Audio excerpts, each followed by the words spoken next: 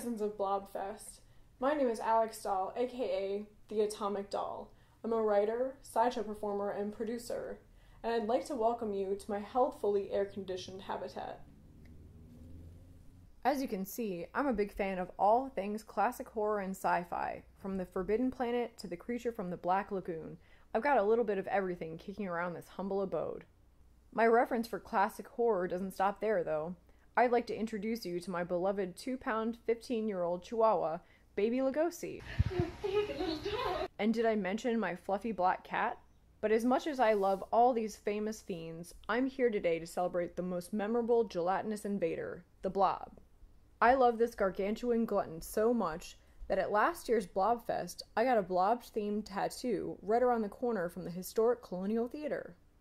I met so many interesting guys, gals, and even a couple of ghouls at the festival last year that I was inspired to represent all you fine fiends this year as your blob queen. This molten maven has been hard at work on the campaign trail, hot rodding around town, assimilating hearts and minds at a frightening speed. But it hasn't always been easy to stick to my diet on the road, and, much like the blob, I've picked up some gnarly eating habits.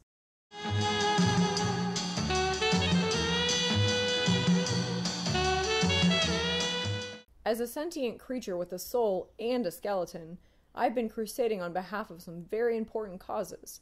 Above all else, I've been fighting the good fight against global warming, Join me and let's keep the Arctic cold, folks. To extinguish any doubts about my out of this world qualifications, I prepared my world famous dessert.